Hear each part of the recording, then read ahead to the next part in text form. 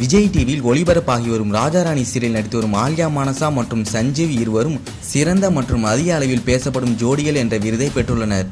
மானசா நீண்ட வருடங்களாக மானஸ் என்பவரை காதலித்து வந்தார்.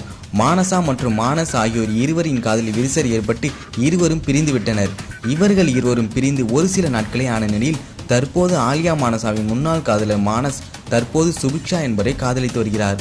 அதே போல மானசாவும் தன்னுடன் சீரியலில் நடித்து வரும் சஞ்சீவை தற்போது காதலித்து வருகிறார். இந்நிலையில் பிகைன் உட்ஸ் நடத்திய விருது விழாவில் ஆலியா மானசா சஞ்சீவ் கார்த்திக் இருவருக்கும் சின்னத்திரையின் பிரபலம் மற்றும் சிறந்த ஜோடிக்கான விருது வழங்கப்பட்டது. இது அவர்களது ரசிகர்கள் மத்தியில் உற்சாகத்தை ஏற்படுத்தியுள்ளது. இந்த நிகழ்ச்சியில் பங்கு பெற்ற இருவரும் ஏதோ ஆஸ்கார் விருதை வாங்கியது போல கட்டி தழுவி அனைவர் முன்பும் முத்தமழையை பொழிந்து கொண்டனர்.